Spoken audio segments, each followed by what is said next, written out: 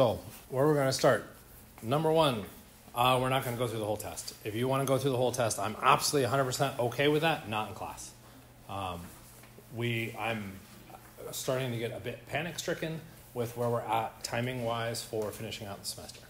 Um, we got about six weeks left, including this one, and we've got a bunch of content that we still need to kind of burn through. Um, at this point, everything that we're talking about is just an application of everything backwards. Okay, so practice is going to become critical um, to the weekly practice assignments. Um, for this first unit, I think it's really just going to be two. So I went through and did for the substitution section is I just recorded or not recorded, went through the question stack that I've got access to, um, and pulled out as many questions as I could. I think it was somewhere on the order of 20 or 30 questions. Um, we'll still have active and we'll still do the paper homework. You just have that more practice available. And so we can do some of those in class. We'll talk through some of that chemistry, all that kind of fun stuff. then next week should be the elimination reaction. The following week is, I think, going to be the exam. I've got to look exactly at the schedule, um, but it, it might be that following week or maybe one week after that. I think it's one week after that, actually. Um, I think it's the week of Thanksgiving, and then we get two weeks afterwards, and those two weeks afterwards are just going to be crammed just as much, if not more, with more reactions, looking at all our functional groups and all that kind of fun stuff. Okay, I would argue you've got what I really wanted you to get out of the class already. Now it's just looking at specific reactions. Okay, and those particular functional groups. Um, so if it feels like the pace is picking up, it is it is. Um, and for the substitution stuff, that's also why I threw a whole bunch of videos at you um, to try and get you some of that background content so we can start looking at how we apply that content into those scenarios. Okay? Um, questions about the exam? Anybody have any burning questions? I'll give you, uh, what do we to say? 10 minutes of recording, total of 10 minutes. So I get eight minutes total left. Is there anything you want to look at? For the moment, anybody else? We don't have to, it's okay. And we can always do it in office hours or via email, any of that fun stuff. Like I said, I wish I remembered more about the actual test, but the the other class got me down enough that I really don't remember much other than I think the average came in at like a 70%, which is really high for an OChem test. So I think you all did very, very well. Doesn't mean you didn't get wrong. Doesn't mean you all can't improve, just for the record. Okay? Um, you just did very well overall. Um, questions about grades too. The post exam two grade is put in there. Don't be looking at what Canvas spits out. Canvas spits out nonsense. Don't look at what Canvas says. Okay, but there's a grade, a column, or an entry in your assignments called post exam two, or post E two. That's your grade as I see it in the class. Okay, we still have another exam to kind of come in the way or come in the way. Um, we've got one more exam to deal with, and then we have the final. The final does replace. So if this was a low score, figure out what went wrong, where the disconnect is, and make sure that you fix those mistakes by the time exam three rolls. And then uh, the final is going to be a repeat of everything. Where I'll start the final is actually pulling questions immediately off of old exams first, and then I'll start adding new content questions in. Okay. Are we blanket passing on everything in exam two? I mean, I'm cool with that.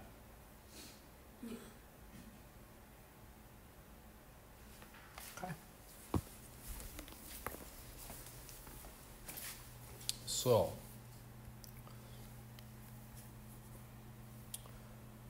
uh, not that button. I want this button. So, really, what we're concerned about is our substitution and elimination um, reaction and mechanisms and kind of digging into the details behind them. For those people in lab, we did a lab that explicitly talked about some of these pieces. but the only place you saw it was in lab, and I don't think there was really enough context to really make that kind of stick and hold. So hopefully, as we talk through it in class, it'll reinforce those words that were kind of thrown at you in lab and bring a little more sense to it. If you aren't in lab, well, good luck. It's not that bad.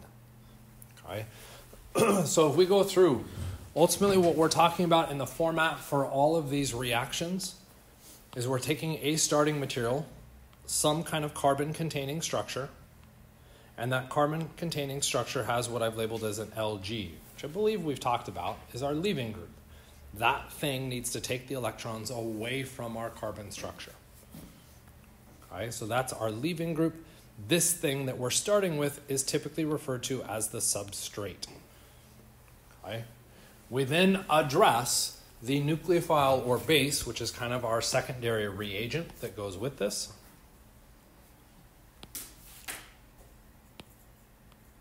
Because our substrate does technically include the leaving group. And then we've got our reagent as a nucleophile or base. Less important, but it does make a, a role in an appearance, the solvent will come into play in some scenarios. It's going to play a relatively minor role as far as our class goes because I, I just don't think we need the emphasis on the solvent. Um, but that said, we now have four kind of pieces, and how those pieces change is going to change some of the chemistry that we'd be looking at. Right? So we've got our solvent, we've got what I'm labeling right now is just reagent. This is either a nucleophile or base. And then we have our substrate, which contains the leaving group. Right? When we change the identity of the leaving group, that changes the identity of that functional group.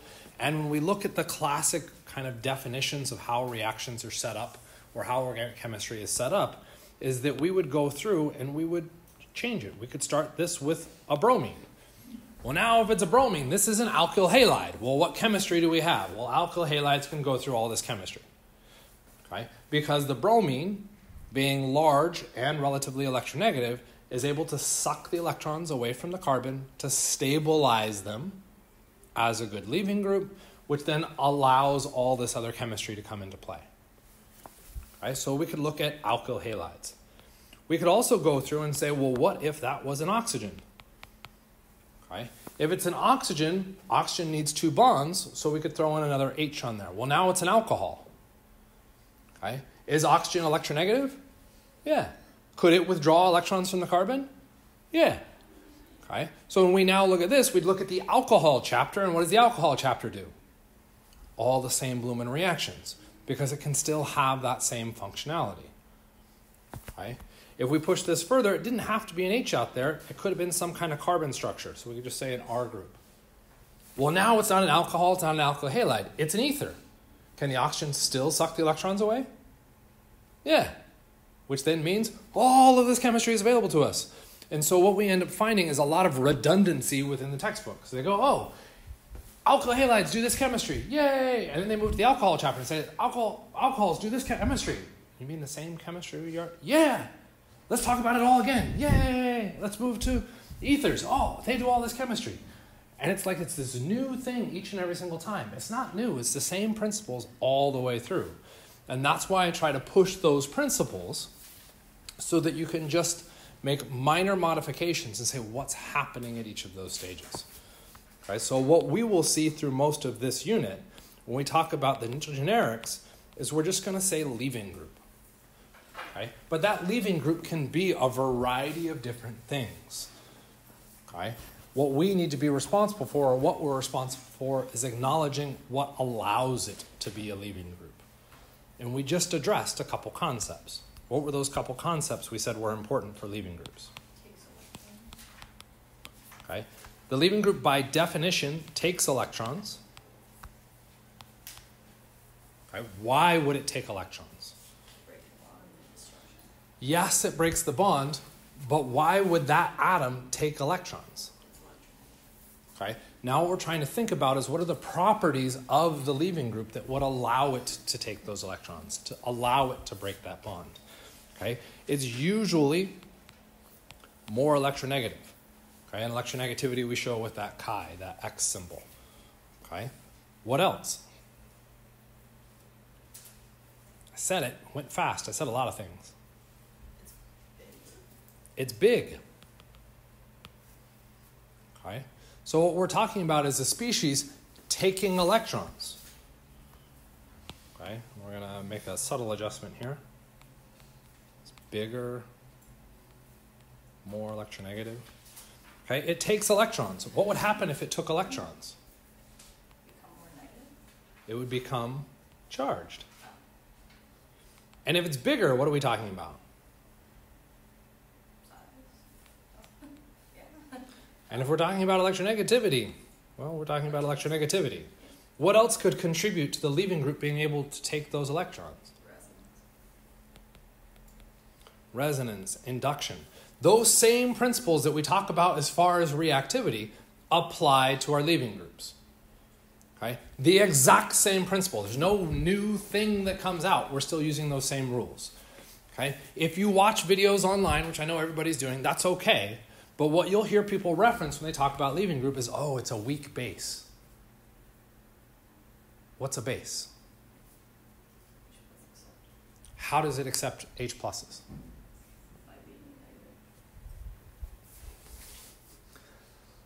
Okay? What they're saying by a weak base is they've said, let's memorize a bunch of weak bases so that we don't have to apply a bunch of rules.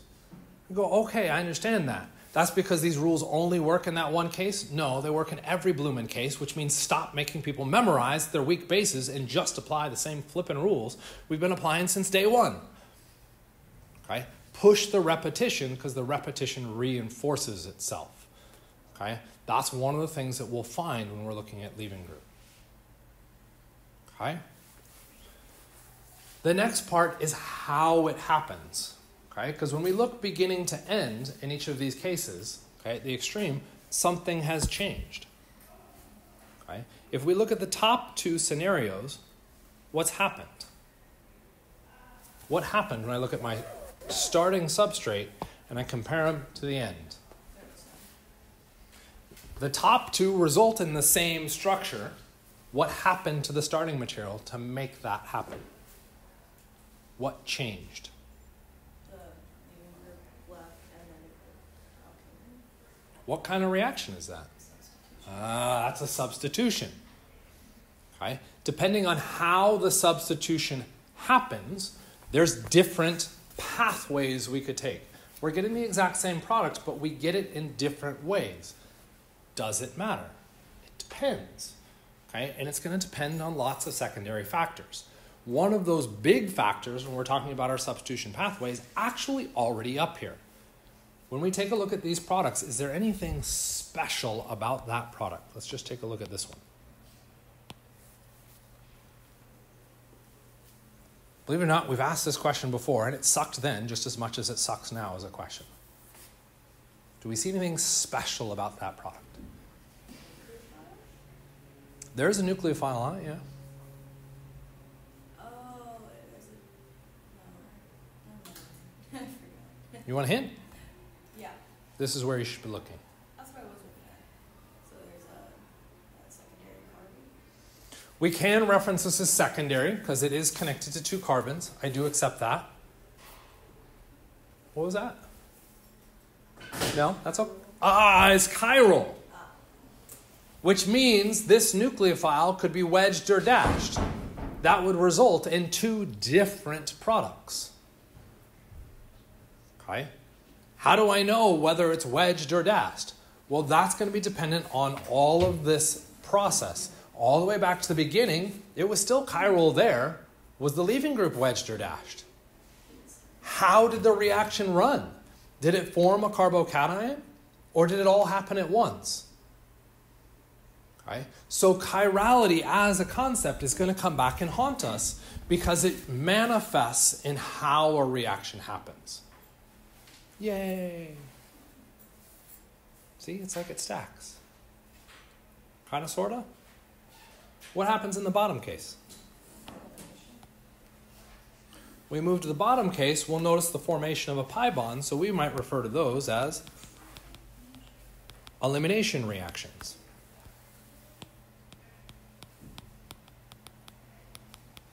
How are they different from our substitution? Go ahead, you can say the easy answer.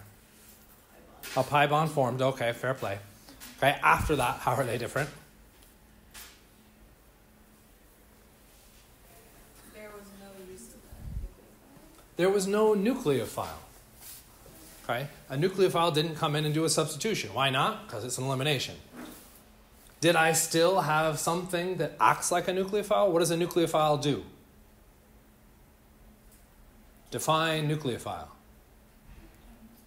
Donates electrons. Define base. Hydrogen ion acceptor. Hydrogen ion acceptor. By doing what? Donating electrons. Do we still have a nucleus? Yeah, the base and the nucleophile are very much related. Okay? But in this case, the base are we're looking at that, that thing that's sharing electrons, but it's changing what it's sharing electrons with. In the case of the elimination, we're sharing electrons with in the case of the elimination, we're sharing the electrons with the base is the one sharing the electrons. What does the base share electrons with? An acid, I accept that. I wanted something a little bit different, but acid, what is an acid? Didn't hear you. You want to try? No, you're using more fancy terms. I want less fancy terms. What is an acid? A hydrogen ion donor. The base shares its electrons with the hydrogen.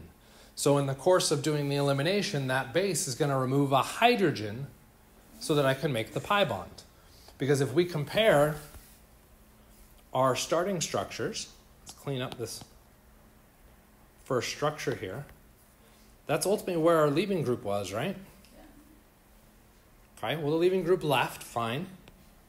If we look at this position, what changed at the red dot? Another sigma bond. Another sigma bond? It's not a sigma bond. If anything, it's a pi bond. That red dot at the very beginning only has two electrons or four electrons around it, which means there's two hydrogens. When we look to that same carbon in our product, how many electrons do we see around it? Two, four, six, which means one hydrogen. In the case of the elimination, we're removing a hydrogen and the leaving group. Remember when I told you to memorize elimination and what it was? It was the formation of a pi bond by doing what? Breaking two sigma. Breaking two sigma bonds. The leaving group and hydrogen. Those taken together do our elimination. How, again, that happens changes the potential outcome. It's much harder to see the potential outcome with the elimination, particularly on the context of how we've discussed it. So we're not going to worry about that one quite yet because I really want to dig into the substitution because that's what this week is supposed to be about our substitution reactions. But this sets up our kind of overview behind it. We could look at energy diagrams. Uh, mixed bag, it's probably not worth the trouble for this class, so I wouldn't stress about it. Okay? But what we're concerned about is what's happening as this nucleophile comes in. Does it come in and make the chemistry all happen at once? Okay? Or does the chemistry happen on its own first, then the nucleophile come in? That could change the outcome around that chiral atom, and that's what we kind of have to push. When we look at OCHEM, what we're talking about with these mechanisms gets into this how it happens. This is the philosophical versus chemical approach. Okay? Philosophically, yes, we should care how something happens. Okay? That's largely for organic chemists, okay? Or maybe even chemists in general. Do you all really care philosophically how it happens? No. Do we care chemically? Okay? Well, that's going to again kind of depend. If there's now a difference between those two products, and we're saying, I don't know, administering a drug, okay, or we know something about that drug, if that's a chiral atom and both drugs are being administered, and one of them is toxic and the other one isn't, that's something that you should care about. That's a chemical process that you could then ultimately be held responsible for. Okay? Kind of make sense? Hi.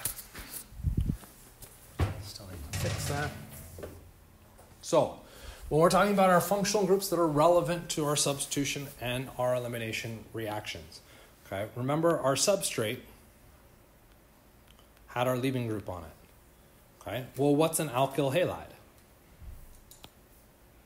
An alkyl halide is a carbon structure. Is this a carbon structure? Yeah. Yeah? Except I don't want LG, I want A halogen. Any of my halogens. So when we're talking about substitution elimination, we're directly addressing our alkyl halide functional group. Okay? We could talk about our alcohols. That's now with the OH. That's changing the functional group again. It still matches that pattern of the leaving group. Okay? We switched that to an ether, right? Where we had an R group. Okay? Same basic kind of chemistry, or I shouldn't say basic, same core chemistry. Okay? And we're just scaffolding it slightly differently. Yes, things will get complicated as we move through. What happens if we move to an amine? What if I put a nitrogen there? Okay? Could it still act as a leaving group? Yeah, it's also equally electronegative. How about a carbon?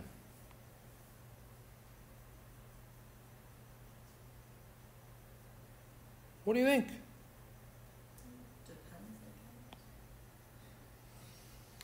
That is way too cagey of an answer. You got to elaborate that. You can't just say depends. If it has the electron, or if it's willing to take the electrons from the carbon structure, Why would a carbon be willing to take electrons from a carbon? because it's a carbo, Why was bromine willing to take electrons away from the carbon? Why was oxygen willing to take the electrons away from the carbon? Why was nitrogen willing to take the electrons away from the carbon? Like, more electronegative. Get to your point. Would carbon be willing to take the electrons away from carbon? It's not more electronegative. It's not different in size. So what happens? Doesn't. Okay? We don't get that chemistry unless we add something else to change that, and we'll maybe address that later on. Okay? But at a simple level, if that's just carbon, we don't talk about our substitution reactions because it doesn't act as a leaving group. It can't stabilize those electrons. What functional group have I addressed by making a carbon carbon bond? An alkane. You'll note that our alkanes are going to be rarely talked about. Why? Because they don't act as they should do. Why don't they react? Because there's no distance in electron. There's no difference in electronegativity. So it goes all the way back to the beginning. We're trying to find those polar covalent bonds because those were where our chemistry was located. So if we can establish those things, we can start to scaffold out and predict and guess what could potentially come out of this. That's pretty cool and powerful. Okay? You'll also note that I listed alkenes. Okay? So there's our bromide. We're talking about our substitution elimination reactions. We'll talk about our alkenes. What was an alkene? A carbon. carbon carbon pi bond. But dude, that doesn't have a leaving group. How is that substitution? It's not. Why would we talk about alkenes then? It's the product of that reaction when we're looking at our eliminations. It was the formation of that pi bond. Okay? So, as a functional group, it's now appearing in our chemistry lists as well because it's the product. It's appearing in our reaction. And if it appears in our reaction, when we talk about the functional group chemistries, that's what we're doing. We're saying, oh, this functional group appeared here, so that means its chemistry should now be discussed. Okay? What I would like you to kind of step back from is not the, the chemistry, the functional groups per se, but what's the reaction that I could see that functional group either doing or becoming? Okay? Alkynes, I've also got, what's an alkyne? A triple bond between carbons. Why would alkynes be listed in this? The alkene was the formation of a pi bond. What's an alkyne? Potentially the formation of just one pi bond going from an alkene to an alkyne, or the formation of two pi bonds, so two eliminations to make the alkyne. It still fits within that chemistry. Kind of, sort of? Okay.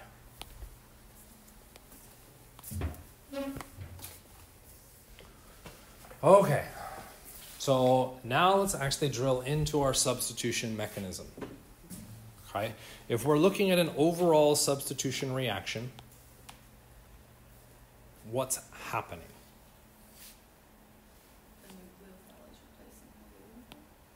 Okay, the nucleophile is replacing the leaving group. That's putting everything together in one giant hodgepodge, and it's kind of difficult to understand what's happening. Okay, because is the nucleophile doing anything per se to the leaving group? No. What is the nucleophile doing? Going in after the leaving group is going. After suggesting something about timing. I don't care about timing. What must the nucleophile do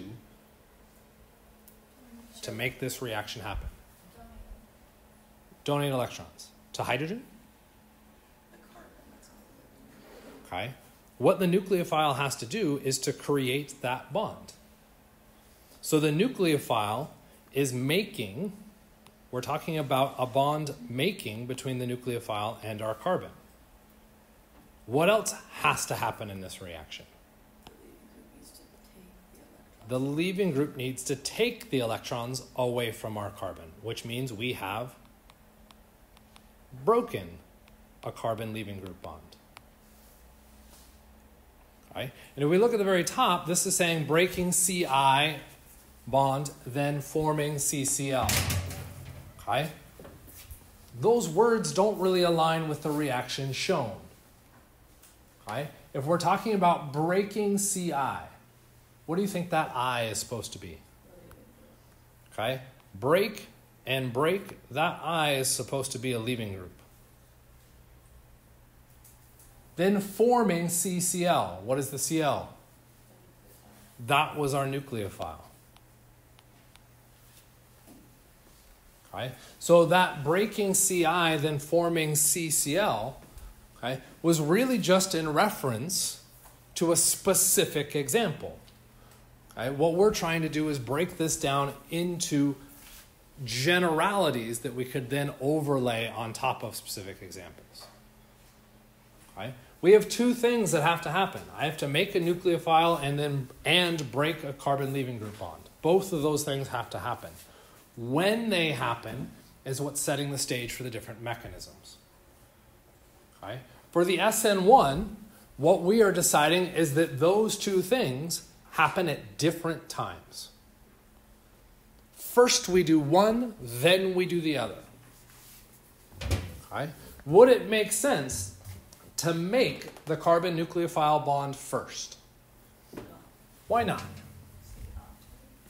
Okay? If the carbon nucleophile bond was made first, we exceed the octet. That doesn't make sense. So if we're going to break this down into steps, the very first thing that's going to happen is we need to break that carbon leaving group bond. We can show that with the curved arrow. That curved arrow is taking the electrons from that bond and giving them to the nucle- or to the leaving group. What would our resulting structure look like? Uh, three carbon. Three carbons. What's that? Positive charge where? The carbon should be positively charged. Why do you think the leaving group should be negative?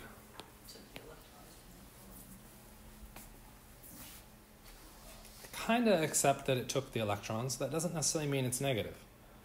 There's another thing you're assuming to make the leaving group negative. There's getting at the right answer. That when we looked at our starting structure, what was the charge on the leaving group? It was neutral. Did it have to be neutral? No. What if that leaving group started positive? Well, that's not in a pen.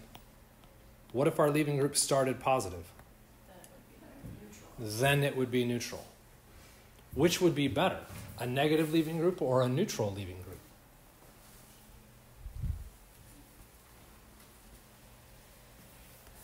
There's some pauses there, and I guess those pauses could have to do with visualizing what we're talking about. So, we've got the scenario drawn there. Let's look at another scenario on the left. We're ignoring that. Have used an eraser.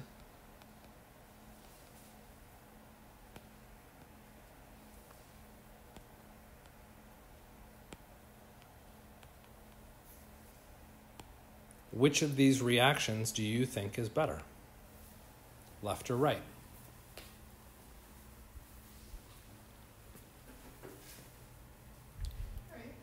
Why is the right one better? You're going back to those same rule sets. There's less charge. Okay? Does this actually manifest as a problem? Yes, it absolutely does. If I start with an alcohol, that OH, my leaving group is then OH with the extra electrons on it. That would be negatively charged. If I wanted this to actually work, I would need that oxygen to be positively charged. So I could protonate it first. When I protonate it, what becomes the leaving group? It's water. If we now overlay, remember I said something about leaving groups that when you look online, people reference leaving groups as Weak base. weak bases. Which is the weaker base? Hydroxide or water? What? Why is it a weaker base? It's not charged. It's not negative. Okay? The charge fixes that issue. It's not as basic as that one. Okay? So this is a better mechanism to move through. Okay? Kind of makes sense? Cool. Let's go back to our leaving group. Of course, I used the wrong eraser. So cool, we've run our reaction. We've got our leaving group now chilling out here with those extra electrons. Because it started neutral, we're going to say it's negative. Now what happens?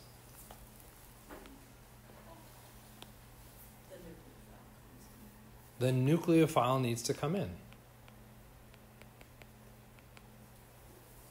Okay? So what does the nucleophile do to come in? Shares electrons with the. So we take the lone pair electrons from our nucleophile and we share them inwards. We now have a bond between the nucleophile and our carbon structure. What charge was the nucleophile? Neutron.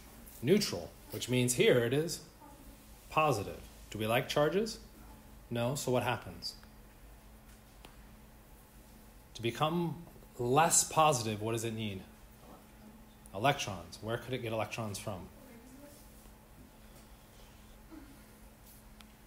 If we have the leaving group come in, we're now making another bond.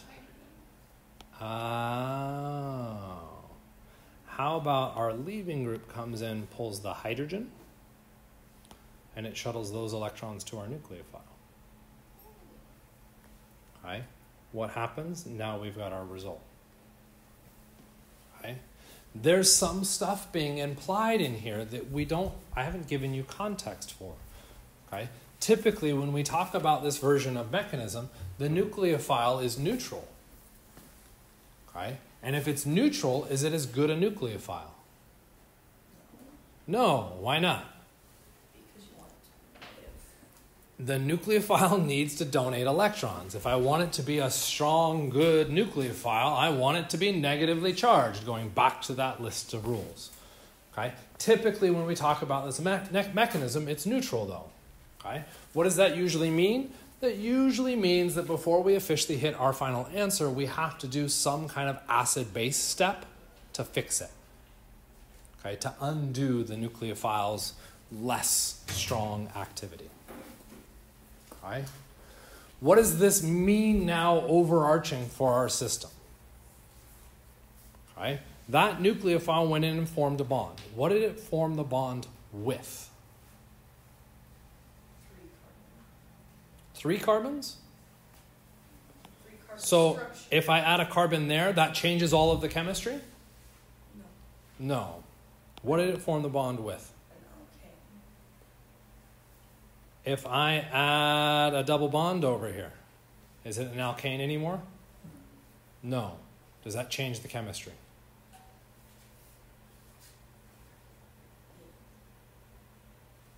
Okay.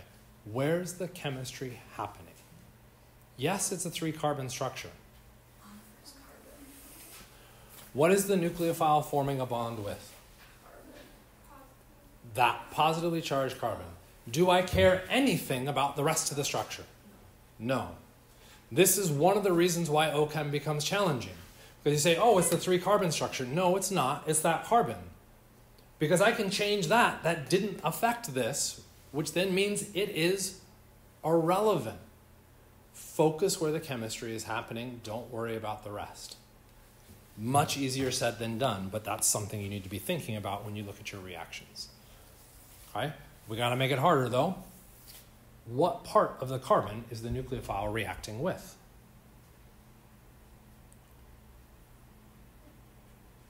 Is that a hard question? Should be a pretty hard question. Okay? So if we looked at that carbon, let's expand it a little bit. So there's our carbon. Whoop, whoop, whoop. I decided sound effects were appropriate. Okay.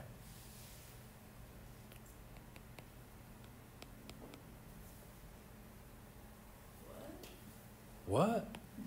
This, this, this. Are those green dots carbons? No, No. So what am I trying to show by those extra colors? where the electrons are located. The electrons on our carbon, right? So if I'm asking where this nucleophile is reacting, what am I asking about is it reacting? Is it reacting with the sp2 hydrogen or electrons in this carbon-carbon bond? No. Is it reacting with the sp2 electrons in this carbon-hydrogen bond? How about the electrons in that carbon? So what is it reacting with? With the what? But which part of that carbon? Is it the 1s electrons it's reacting with? No. What is it reacting with? What where's the positive charge? for the electrons. That's lovely. Where the electrons aren't. Yes. Where is that positive charge? Is it in a space that we can identify? Oh, something about back, backward, back something. Uh, I don't know. Different mechanism, kind of the right idea. like an open P. Ah, when we go through to look at a molecule, we want to know where all the electrons are located for that individual molecule. This is where we looked at hybridization theory. And if we had a carbon with three groups of electrons, it was sp2 hybridized, meaning we used an s and two of the p's. Those orbitals are what were used to make those three bonds. Carbon started with four orbitals. I can't destroy matter. What happened to that fourth orbital? Still there. It's still there. What is the identity of that fourth orbital? It's a p orbital. Where's the nucleophile reacting? The empty P. The empty p orbital. Like, dude, Mike, I don't care. Why does that matter? Where is the empty p orbital? On the carbon. I, uh, okay. Fair point. More. Also, kind of where the positive charge is. No. What does a p orbital look like? Uh, what were you saying, drums? No, no, dumbbell. Dumbbell. Yeah, the drumstick is more like the SP hybrids. Yeah, yeah. Okay. So a dumbbell. Where would I draw the dumbbell on this?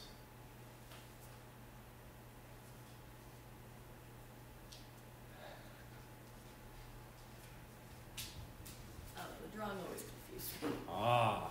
So this becomes one of our issues with hybridization and why we talk about that hybridization theory so we understand where those orbitals are at and what they are. Because when we talk about this reaction happening, I'm talking about putting these electrons into that p orbital. And if I know where that p orbital is, guess what else I know? Where that new bond is located. And if I don't know where that orbital is, what am I resigning myself to do? Plop it in. I can't just plop it anywhere though. I have to plop it in one of the correct spaces. So if I've decided that I don't know anything about that, those hybrid orbitals or where they are in three dimensions, What I'm resigning myself to do is that when I know I have an SN1 mechanism, I know the nucleophile goes in this particular location. Said another way, I've decided to memorize my way out. That's okay. But that's what you need to acknowledge behind this. Kind of make sense? Wait, so where's the location? Where is the location? Okay. Where is the p orbital? Let's say you were starting to make hand gestures. Usually the hand gestures could be like curses.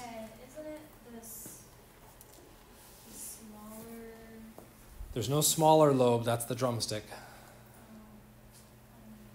If I was to draw a p orbital, okay, a p orbital would look kind of like this. Theoretically, those lobes are identical.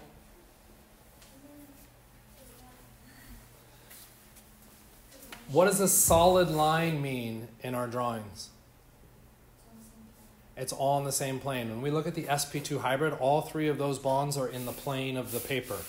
Where's the remaining p orbital? Coming in and out of the plane. It is perpendicular to it. Okay? Drawing it here would look really awful, right? Because how do I draw a p orbital? I'd be looking at this from the top. All you would see is a circle. So what we could do is slightly take this structure and we could rotate it a little bit. And in rotating it, what we might go through and see is that those hydrogens would now, one of them would be coming at me and one of them would be going away. So we took that flat structure that we were looking at and we just turned it. Now, where's the p orbital?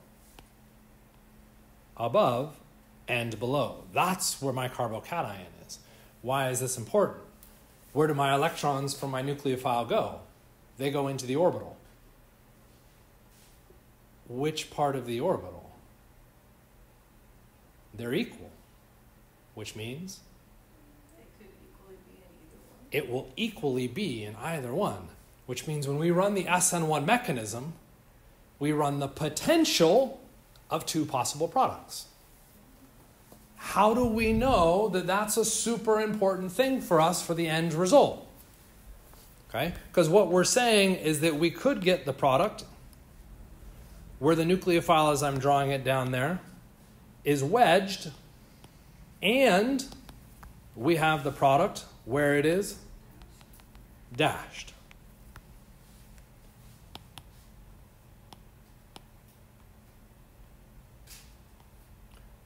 Is it important for me right now for this reaction? It's a hard question. These are all hard questions. I mean, yeah, if you went through it all. If I went through it all, of course. Okay. Haven't we, we have we not done that enough in this class? Okay. OCHEM hates me usually for it because you always talk about wrong stuff.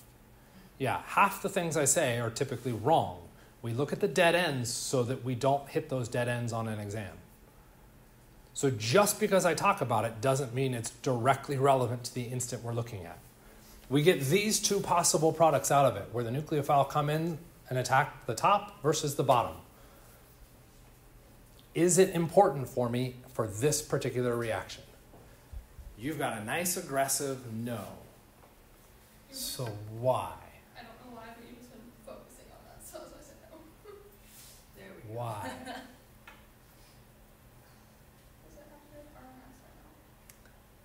Yes, RNS is probably the more difficult way of doing it, but yes, it does have to do with RNS.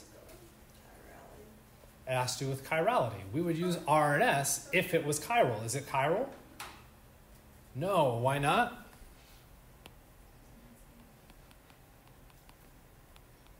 It has those two hydrogens. In this particular scenario, both of those attacks still absolutely happen. We still attack we top, we still attack bottom equally. We get those two possible results. But what's the relationship between the structures of those two possible results? What is their relationship?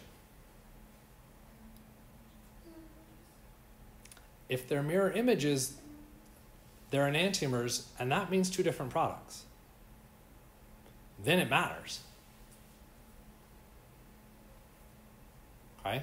And that matters. That's the scissor example. Well, they're, they're not chirals, so they can't be either one of them. They're not chiral, which means They can't be enantiomers. What is the relationship between them? They're identical. It didn't matter with this particular starting structure because they're identical structures.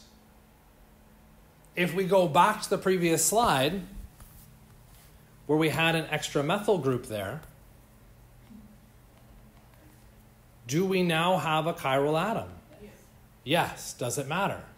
Yes. And so now when I run this reaction, I get two products. Okay? So this should set up some potential alarm bells because we already said there's multiple ways to run a substitution reaction. We can either run it as we just discussed here or a different way. What you're going to be responsible for doing is looking at a reaction and being like, ha, that's going to go this route, I get two products. Or it goes that route and I get a different answer. So you have to be able to look at the reaction and say, what are the identifying pieces that allow me to say, this is the mechanism I want to do? Okay? Because this mechanism gets me two products and that changes my output. So, what do we have to look for to trigger this mechanism? Well, what's one of the things that forms?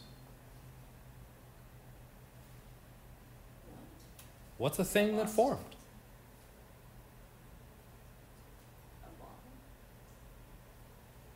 True, but the other substitution reaction will also form a bond.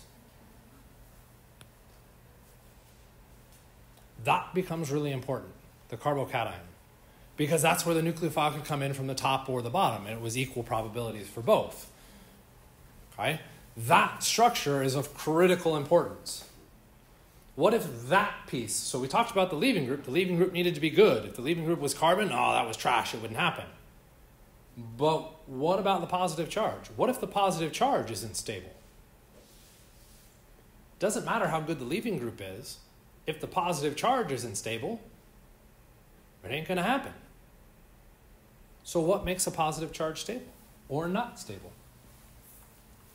Having electrons around it. Okay, and in that scenario, what are you referencing? Yes, having electrons around it. Love it. Like the other bonds that are connected to the positive. Fancy word being substituents. So, oof.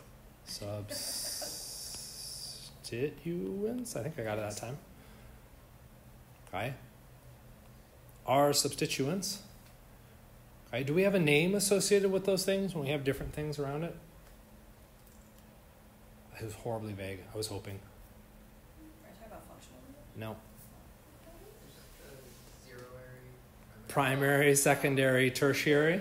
Yeah. Okay. And I left zero area off. That's absolutely fair. I should include that. Are all of those equal stable, equally stable as carbocations? No. Which of them is the most stable? Tertiary. Is more stable than secondary, is more stable than zeroary. Okay? So what does that mean? If I look at my starting material and I go, ah, that is a primary, how do I know that's a primary? It's connected to one carbon. What are you talking about? That carbon's connected to two carbons. The one that is on the leading. The one where the chemistry happens is what I need to look at. I don't care if there's a secondary or tertiary in there. I just care where the chemistry is happening. That position is only connected to one carbon. That makes it primary. According to my list, is that a particularly good carbocation? No. Okay? Which is where we now need to bring in some content. Okay? We got to decide what is good enough to run this. Tertiary is good enough. Secondary is good enough. Primary is not. Which means what we can do is look at the substituents on our substrate and we can now start to make predictions about whether this mechanism is a valid one to look at or not. That's powerful. Okay? So we could use that right now to be like, Mike, you picked crap example because that's primary and primary shouldn't happen. Fair, but all I'm trying to do is focus on the chemistry, so ignore that. Okay? What else was kind of important for this? Well, we, we said we have formed that positive charge, right? Right, are there other things that could possibly stabilize that positive charge?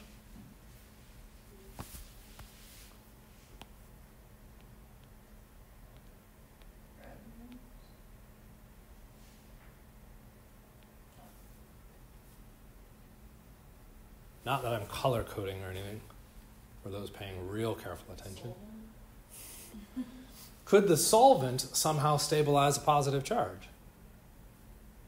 What could the solvent supply that would stabilize positive?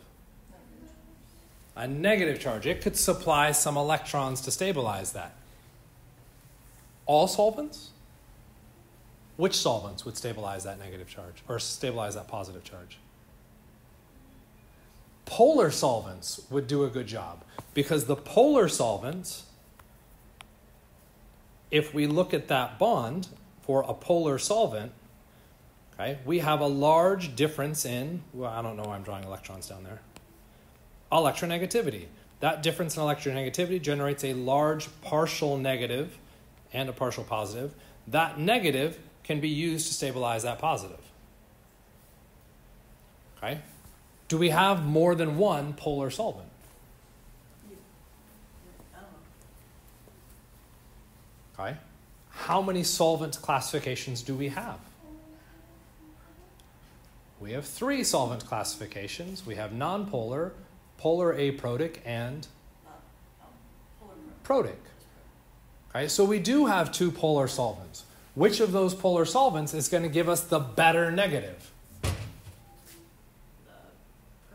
The protic, because that's the largest difference in electronegativity. So, what does that mean we could do? Well, we could go back up here to our solvent, and what we would assume the solvent should be would be protic.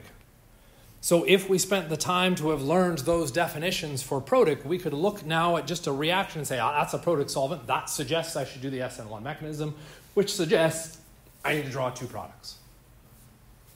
Stack upon stack upon stack. You're looking for each of those pieces. Okay? There are two other things that we could address. What are those two other things? Red and purple. We've got our leaving group and our nucleophile. Does the leaving group always have to leave? Yeah. So the leaving group ultimately is going to be misleading because the leaving group, regardless of what mechanism you run, has to be good. Okay? So looking at the leaving group, really all it's going to do is be like, it's not ready to do the substitution yet. It can't leave. Make it good. Now it can leave. Okay? But it's not going to differentiate between the two mechanisms very well. So we can largely ignore the leaving group presence and we can then shift our focus to the nucleophile. When was the nucleophile important in our substitution?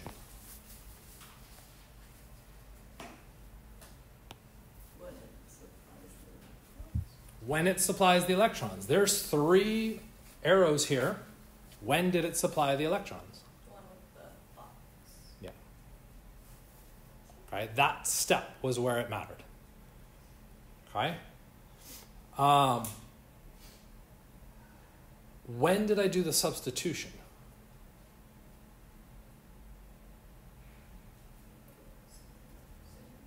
Up here? I would argue the substitution had already happened because the only thing that's changing here is the presence of the hydrogen. Okay? Deciding between it is really kind of that step. That's when the final substitution happened. But to do this step, what did I have to do first? I had to have the leaving group leave. So there's two steps that are involved really in the substitution, and there's a cleanup. That cleanup can happen before, it can happen after. Okay? But there's two really important steps for the substitution. Which one is the most important?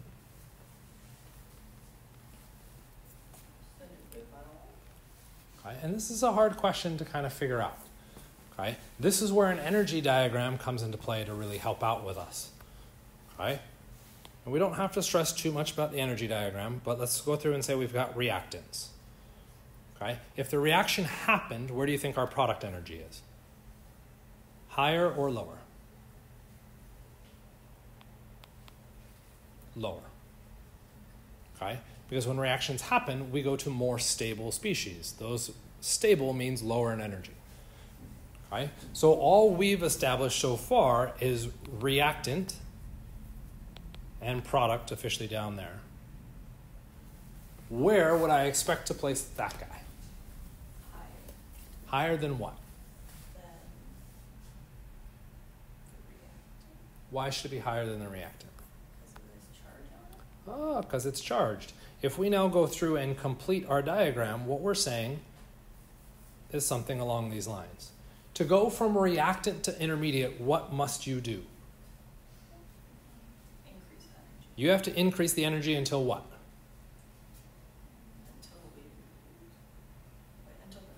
Uh, total fair statement, but on the diagram. I've increased energy because here I started at the bottom with that little red. I've increased the energy to that spot. Do I have intermediate? No. How about here? When is high enough? when the comes, On the diagram. when. This picture right up here in the upper right hand corner, everything else is irrelevant. The top. The top of that highest peak, that's a pretty important peak, right? That might be a useful thing if we gave it a name. For those people that took enough chemistry, what name did we give that? And this is where you can get some people being like, oh, God. Yeah, I remember somebody mentioned something about that.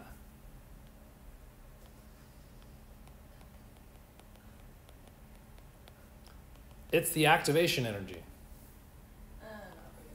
To if you took Chem 130, it, it shouldn't ring a bell. Okay, that's the activation energy.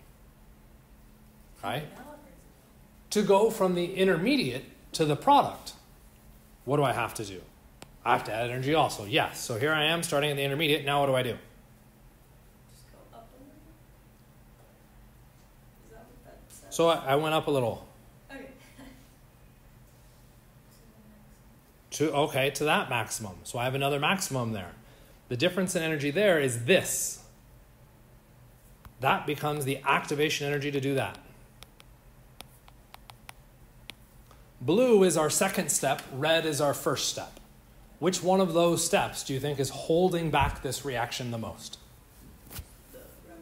The red one, because it has a larger activation energy. Why does it have such a large activation energy? We're going from a neutral structure to charge. You mean that whole charge that, oh yeah, that comes into play again. The next step is easier because we're going from a charge structure to a still charged ish. There's some secondary things that we could look at that isn't worth trouble, okay, but less charged, which is why we're dropping in energy. Why is this important to me? Oh, God, we got to get somewhere with this, okay? That means the only thing I care about is the first step. When was the nucleophile relevant? The second step. Do I care about how active the nucleophile is? No. Because the nucleophile strength is going to change the activation energy for the blue step.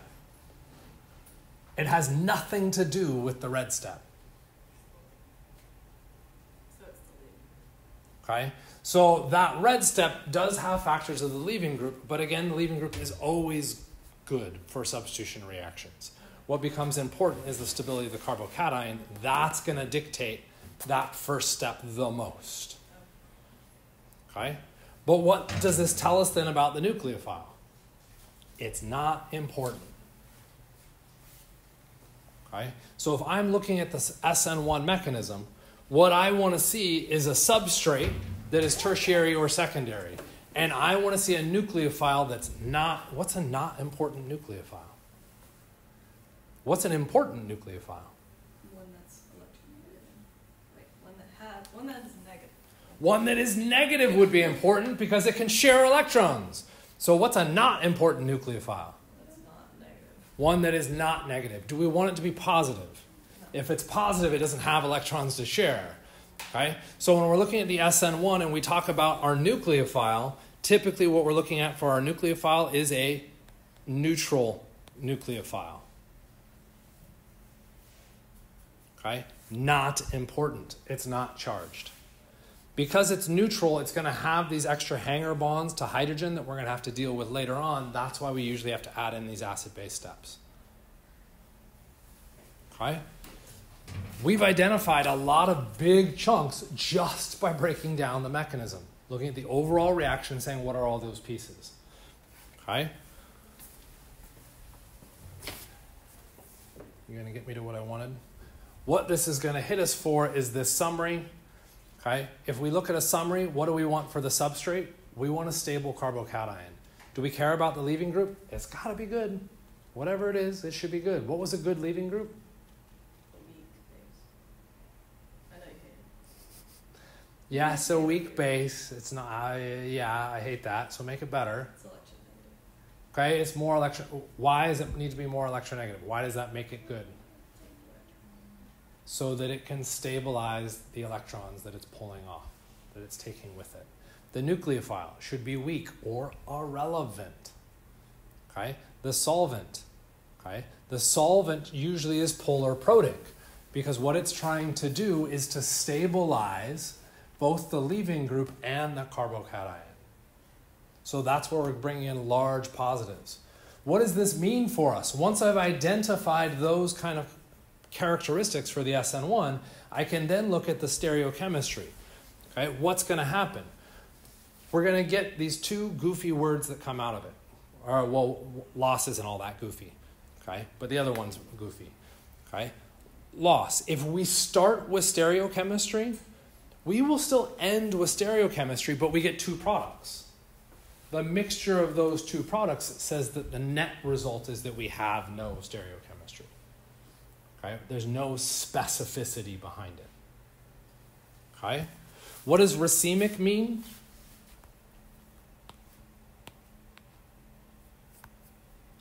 It is a 50 50 mixture of R and S. Said another way, enantiomers. Okay? That's a fancy way of referencing Okay? But it's saying the products that come out are enantiomers. Are there potential complications with this? Yes. This is one I still haven't quite decided if I want to scrub or not. Rearrangements are possible. Um, I don't think we'll talk about rearrangements. Okay? Um, which is going to be very challenging, particularly if you're looking stuff up online. They will talk about rearrangements, but I think it's something I, I want to leave out. Okay? But it is a very real complication of it. Carbocations are not stable, so what molecules will do is rearrange the parts to stabilize, to make a better carbocation. How that happens is the rearrangement process. There's a whole set of rules that potentially run with that. Those rules are still charge size, electronegativity, all that fun stuff. It just adds another layer of complication that I don't think we need to stress about. Okay. Um, but you're going to hear reference to that multiple times through the videos, and you'll probably hear reference to it through these slides. Okay, but that's what's going on with it. It's a complication because you have carbocations. Okay, before we look at the SN2, the most important thing for SN1 is a stable carbocation. Okay, that's what dictated everything. So if you're looking at a reaction that you suspect is an SN1, everything you should be doing should be driving towards making a, a better carbocation. I say draw an example SN1 mechanism or an SN1 reaction. The substrate that you should start with should be tertiary, so that when the leaving group leaves, you form a tertiary carbocation. Okay? Leaving group, we just said kind of not a big deal, it just got to be good. The nucleophile, we don't care about because that's not the carbocation. The solvent, we care about the solvent because what does the solvent do? It helps. Stabilize the carbocation. Okay? So when we say SN1, the very first thing that should come to your mind is carbocation. Okay? And I will periodically ask this probably starting in next class. I say SN1 and you say carbocation. Okay? Where that would push to in future classes is that when I say carbocation, you should say rearrangements. Okay? We're largely ignoring rearrangements, but what's the part we're not ignoring? The stereochemistry. Okay? So when we say SN1, we should be thinking carbocations. Once we know carbocations, we should be thinking that we're getting multiple products. Okay? Those multiple products don't have to be racemic, right? They're only racemic if there's a chiral atom. So those are conditional things that we have to watch out for. Is that a question? No. You're just adjusting. Okay. How are we feeling? What happens with SN2? Okay. Well, in SN2, we do it all at once. This simplifies things a lot as far as a mechanism goes. Okay. So if we were to break this down, get rid of all those pieces, okay, what happens? The nucleophile comes in at the exact same instant that the leaving group leaves. So it all happens at once. Okay? If it all happens at once, I need to be thinking about how these things are happening. What is the leaving group leaving with? Electrons. Okay? So if I have my hand, here's my leaving group, the pen, okay, and I want to bring in another pen. Okay? Here's my nucleophile. Okay? If this all happens at once, can I have the nucleophile come in and do this? I just did it with my hands. How hard can it be? What did each of those pens represent? Electrons. What happens when I bring those electrons near each other? They repel, which means that's not going to happen.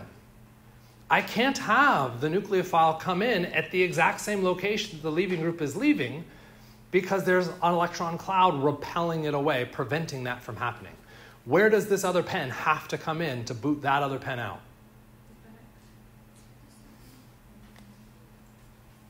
I don't like it. It has to come in from directly opposite. And directly opposite we would reference as backside. Okay? And the most common phrase that comes out of it is backside attack. Right? So when I say SN2, you say backside attack because that now establishes all the other chemistry that comes after it. That nucleophile has to come in from the backside. Okay? Which means if this leaving group was wedged, where's the nucleophile?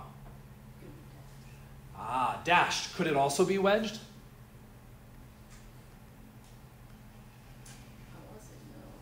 No. Interesting. Which means when we run the SN2 mechanism, what happens? How many products do we get? Rhymes with what we're having right now. Fun. None. You get none. Fair. Not the word I was looking for. You get one. The SN2 will only produce one product because it's all happening at once from the backside. Only one product can come out of it. There's only one place that it can come in and react. I only get one result. The SN1, because we formed that carbocation that had a p orbital above and below, there were two places it could react, both above and below on the p orbital. The SN2 can only come in from the backside. It only produces one product. Awesome. Right? So we now know the complication. We get one product. If it was wedged in the starting material, the answer must be dashed, which means our stereochemistry inverts. We go from R to S, or from S to R. Most commonly, and I think that's how I'll test on it.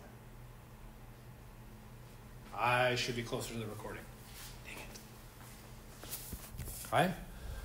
What else do we need to worry about? We just talked about, or we just talked, we didn't talk about that. We just said the nucleophile come in, happened all at once, backside, which means how many electrons do I want on the backside? The nucleophile has to come in from the backside. How many electrons should be on the backside if this negative nucleophile is going to make it in? I want none. I want the fewest possible electrons back there as possible. Okay? What kind of substrate would that be? It's not a carbocation. Remember, there's no positive charge. What was our ranking for carbocations? What do we say for our substrates? We had zero, primary, secondary, tertiary. What was the difference between those? There's a leaving group. Tertiary is this. There's our leaving group. Zero area is this. How are they different?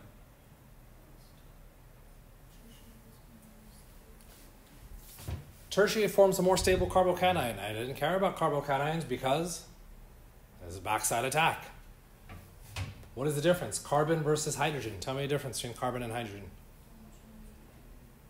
Yes, electronegativity is more fundamental than that.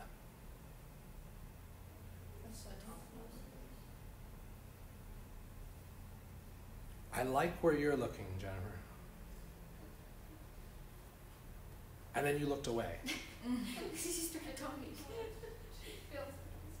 What's that? Yeah, carbon has more electrons than hydrogen, which means what's on the backside of the tertiary? A lot of electrons. Can the nucleophile make it in? Nope. Ah, so it flips. So what does that mean? When we look at the SN2, zero area reacts, reacts faster than primary, which reacts faster than secondary, reacts faster than tertiary. Okay? Again, we'll establish a line. What is that line? Tertiary doesn't react. Okay? So that's cool. We can now see a difference between looking at our substrates, whether we get SN1 or SN2. In most scenarios, note there's one big problem. The secondary reacts in both. That makes things more complicated. Well, look at that. And I to perfectly looked at my clock to see that we're done. Okay? AI part two assignment due tonight, um, you're supposed to sign up for whatever functional group you want. And I put my name on there, but I don't, I don't know. But you didn't see anybody else's name, so you were nervous? No, there was one other person's name, Oh, okay. but then it also Um, says your acknowledgement. So um, you're right. The AI project is, I guess, officially due tonight. Um, you're supposed to pick a functional group and do something similar. So take whatever you submitted initially, okay, what you were interested in, and now what we want to see is how organic chemistry ties back to that. So pick a functional group. I really want a spread of functional groups, ideally. Um, so look at that sign up and see if there's one that hasn't been selected. If there hasn't, if the one hasn't been selected, try one of those and see how it works. If it doesn't work, send me an email saying, "Hey, AI is not giving me a connection. You're good." Um, uh, and then just find a functional group that does connect. I provided some feedback to kind of help guide you a little bit. Yeah. So, um, I was trying to figure out like what functional group I should pick from that because it's mostly like that's what bioactive. Um,